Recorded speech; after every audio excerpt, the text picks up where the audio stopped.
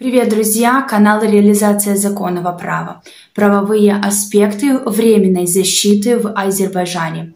В этом видео я отвечу на все ваши постоянные вопросы в этой стране. Подготовленное юридическое разъяснение актуально на период действия временной защиты в Азербайджане.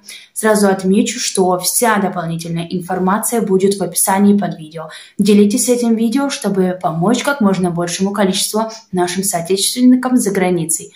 Друзья, согласно распоряжению Кабинета министров Азербайджанской республики номер 9 от 13 января 2022 года Украина внесена в список стран, граждане которых без карантинных ограничений могут въезжать воздушным транспортом на территории Азербайджанской республики при наличии действительного загранпаспорта, документа, подтверждающего прохождение полного курса вакцинации, наличие сертификата об отрицательном результате ПЦР-теста, сделанного не позднее, чем 72 часа до пересечения границы.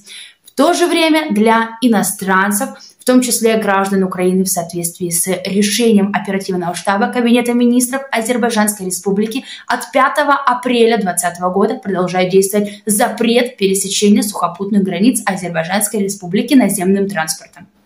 Следующий вопрос. Решение страны о принятии временно перемещенных лиц из Украины. Правительством Азербайджана, друзья, не принято. Следующий вопрос. Медицинская помощь по телефону 103. Предоставление неотложной медицинской помощи иностранным гражданам АР осуществляется на безвозмездной основе в государственных лечебных учреждениях, в том числе в случае возникновения внезапных острых заболеваний, угрожающих жизни. Информацию о перечне лечебных учреждений с указанием адресов и номеров телефонов можно получить на веб-странице. Следующий вопрос. Режим въезда. Режим въезда безвизовый. Визы не оформляются. Въезд осуществляется по загранпаспортам. Срок однократного пребывания не должен превышать, друзья, 90 дней для продления пребывания на срок более 90 дней при наличии соответствующих оснований. Необходимо обратиться в Государственную миграционную службу АР для оформления соответствующих разрешительных документов. Внимание!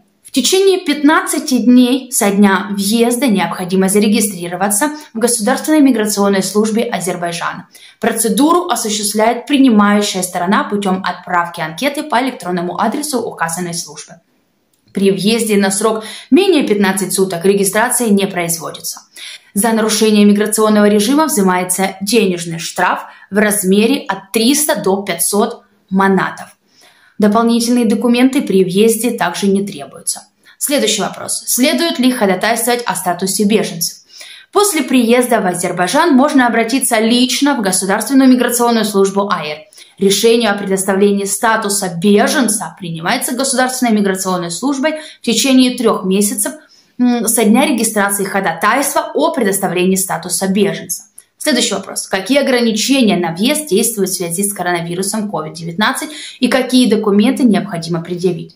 Друзья, пересечение сухопутных границ для граждан иностранных государств, в том числе и Украины, в настоящее время невозможно в связи с карантинными ограничениями. С 13 января 2022 года гражданам Украины разрешен въезд в Азербайджанскую республику при наличии сертификата, подтверждающего отрицательный результат ПЦР диагностирования коронавируса COVID-19, полученный не позднее, чем за 72 часа до пересечения границы, и документа, подтверждающего прохождение полного курса вакцинации. Это две дозы Спутник Light или одна доза при прививке вакцины Джонсон Джонсон.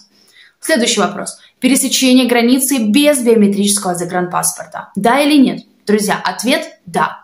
Следующий вопрос. Что делать, если срок действия загранпаспорта истекает? С вами ребенок без загранпаспорта.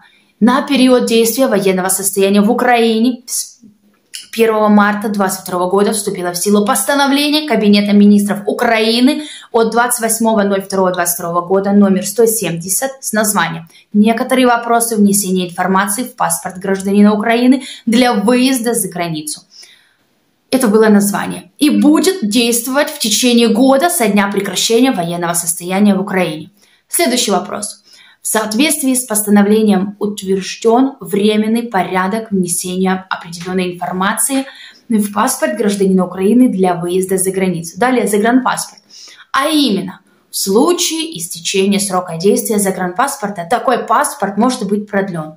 Срок возможного продления паспорта до 5 лет. Дальше, продление срока действия загранпаспорта может быть оформлено не раньше, чем за 3 месяца до истечения срока действия паспорта. Следующее, загранпаспорт ребенка до 12 лет может быть продлен на срок не более срока его выдачи.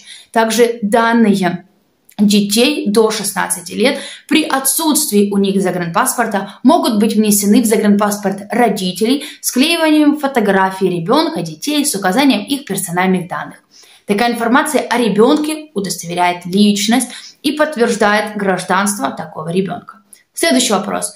Законный представитель для внесения в загранпаспорт информации о ребенке представляет посольство Украины в Азербайджанской республике следующий перечень документов. Итак, загранпаспорт, заявление о внесении в загранпаспорт информации о ребенке, свидетельство о рождении или документ, подтверждающий факт рождения, выданный компетентными органами иностранного государства.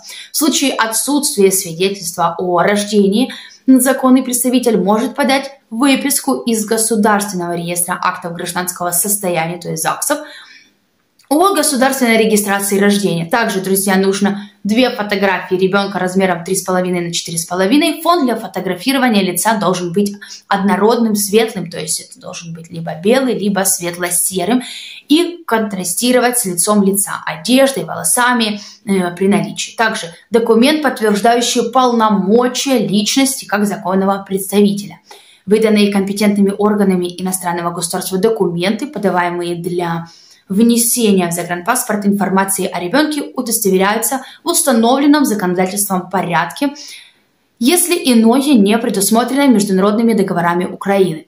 Такие документы представляются с переводом на украинский язык, заверенным нотариально. Внесение информации о ребенке осуществляется в день обращения законного представителя безвозмездно. Внесение в загранпаспорт информации о продлении срока его действия осуществляется в день обращения лица, на чье имя оформлен паспорт или его законного представителя, также безвозмездно. Следующий вопрос. Пересечение границы с домашними животными. Для ввоза домашних животных на территорию Азербайджана из других стран необходимо наличие международного ветеринарного паспорта с указанием вакцинации против бешенства минимум за 30 дней до въезда и максимум через один год после вакцинации. Друзья, мы сейчас с вами живем в условиях военного времени, но при этом важно понимать свои права за границей. Также, уважаемые соотечественники из Украины, если у вас есть вопросы относительно временной защиты в 150 странах мира из-за военной агрессии РФ против Украины. Можете обращаться за разъяснениями по правовым аспектам или подписывайтесь, друзья, на канал и увидимся с вами в следующем видео.